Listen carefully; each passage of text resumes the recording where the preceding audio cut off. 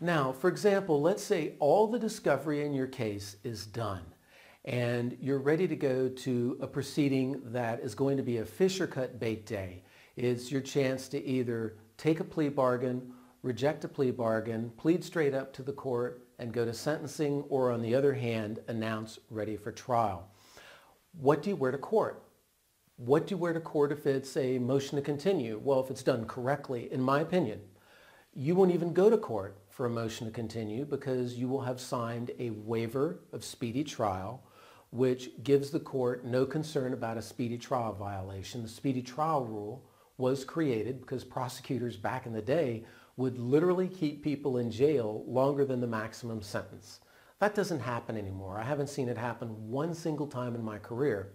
But if you sign a waiver of speedy trial, continuances can often be granted without a court appearance. And in fact, I have many cases that are resolved without my client ever going to court at all. However, we can't assume that. We have to assume the worst and we have to assume that you will go to court. One time I was at a Northwest Florida courthouse and in between the main doors, right before the second set of doors that go actually into the courtroom, there's a little room, little space in between. And as I was going from one set of doors to the other, I heard one lawyer say to his client, now remember, we've got a jury to pick on Monday. Dress nice for court. Okay, let's back that up a little bit.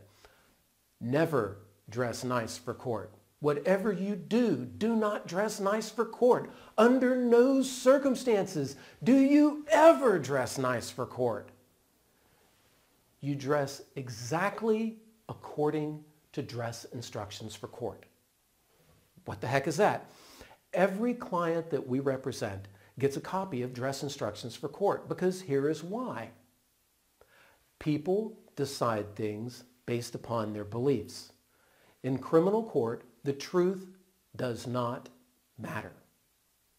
Whoa, did that lawyer just say the truth doesn't matter? All witnesses are sworn to tell the truth. Everybody should tell the truth. And you sure don't want to be lying when giving testimony. That's called a fast way to get three hots and a cot and maximum sentencing.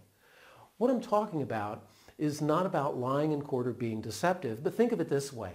You have a fundamentalist Christian minister, you have a very hardcore Islamic cleric, and you also have a very militant atheist, and you're going to hook them up to the most advanced lie detectors in the world. They're all three going to show up as positive when you ask, what happens when you die?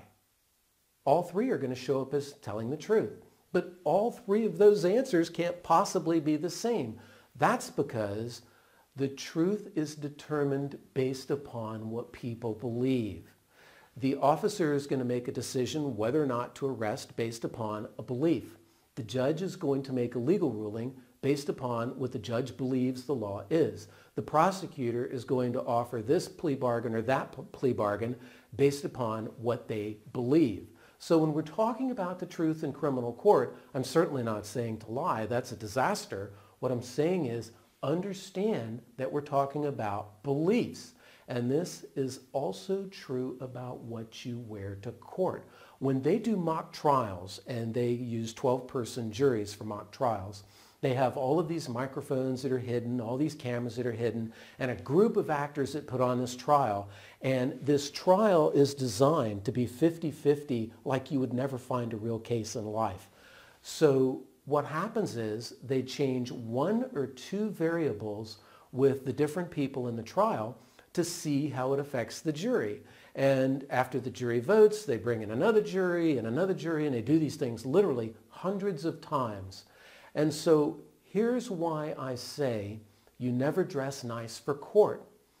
If you take a male defendant and that male defendant is in a Navy suit with short hair and no facial hair, you get the highest level of acquittal.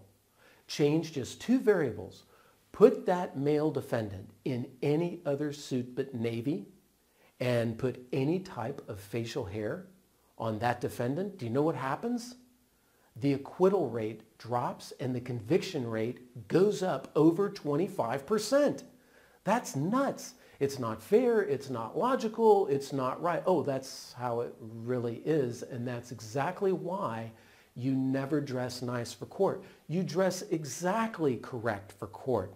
And women, this means you too. I know that what I have on dress instructions for court is not stylish. It's not cool. It's not cute. It's not in fashion. I don't care. You can wear it for as many times as it takes to complete your case because how you act, how you dress, and how you feel are going to critically affect the outcome in your case or the case of someone you love.